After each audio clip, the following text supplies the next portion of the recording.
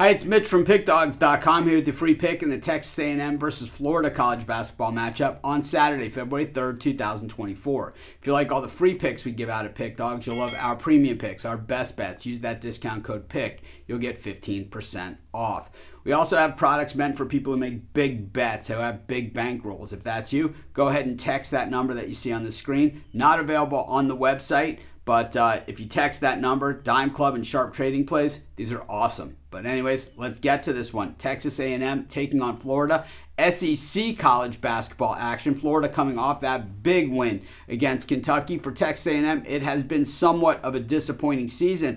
But you know, the thing is, we're rolling into February and into March, and Texas A&M has that style of team that if they make some noise in the SEC tournament, I don't think anyone's going to be surprised, as we've seen them be able to take on a lot of the big boys both earlier this season and um, you know as of late. So you know, Texas A&M they play in this in this SEC, so we know that they've been up against it. And while Florida has that win against Kentucky that they got um, last time out, Texas A&M also beat Kentucky. They beat them though at home. They lost at Arkansas, beat LSU and Missouri, and then lost at home to Ole Miss. The last time we saw them on the court, they were a six-point favorite in that one. They had the worst loss, you know, recently has really been against Auburn. They played Houston really tough. They were getting seven points in that game at Houston. It was one of their last games of their non-conference schedule. So we know that Texas A&M can win those type of games. They went into Columbus, they beat Ohio State. They've done a lot of big things this season. The problem is that 12 and 8 record. Will the committee see that favorably? Probably not enough. So they're going to have to really play out hard.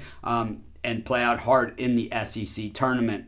For Florida, it's been up and down for Golden. I think the expectations were just gigantic of this team. They have won four games in a row Missouri, Mississippi State, Georgia, and Kentucky. Boy, the Kentucky game and the Georgia game both went to overtime. So you have Florida playing on back to back overtime games and a second consecutive road game. All these things are things to consider. We saw them lose on the road at Tennessee, but uh, over this string, they've won two consecutive on the road. Of course, they also have that loss at Ole Miss. Um, and they, they lost their first matchup against Kentucky. That game was in the swamp at home. The Texas A&M defense can be suffocating, and where we know Texas A&M is really, really good is on those offensive boards. They absolutely pound it and get those second second half chan- chances. The thing is, is that when you pound the boards the way that Texas A&M does, if Florida can get the rebounds, well, they'll have probably a lot of fast breaks, uh, breaks in transition.